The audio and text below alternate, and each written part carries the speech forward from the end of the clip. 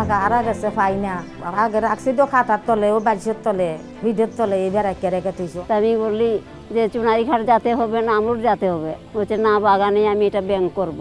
আমি যে এটা তো করলে ভালো। আমি সঞ্চয় জমাইতে পারি না আমার টাকা এদিকে সেদিকে খরচ হয়ে যায়। তো আমি মোমেন আপুর কাছে গেছি উনি আমাকে একটা অ্যাকাউন্ট খুলে দিয়েছেন আমি ছোটোখাটো একটা জব করি। জব করার পর মাস শেষে ফ্যামিলিতে খরচ করি। খরচ করার পরে যা টাকাটা থাকে আমি ওইটা ওই অ্যাকাউন্টে জমা রাখি। যারা লেখাপড়া কম জানে এবং ব্যাংকে যাওয়ার জন্য ভয় পায়, পরবর্তীতে তারা সাথী নেটওয়ার্কের কথা শুনে আমার সাথে যোগাযোগ করে, যেখানে তাদের লেখাপড়া না জানলেও টাকাগুলো সঞ্চয় করতে পারে সহজে, সেজন্য তারা অ্যাকাউন্ট খুলে।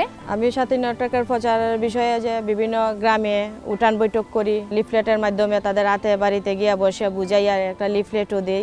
স্কুলে যাই, বিভিন্ন শ্রেণি ক্লাসে যাই, টিফিনের টাকার থেকে তারা বিশ টাকা দিল, দশ টাকা খাইলো আর দশ টাকা সঞ্চয় হলো।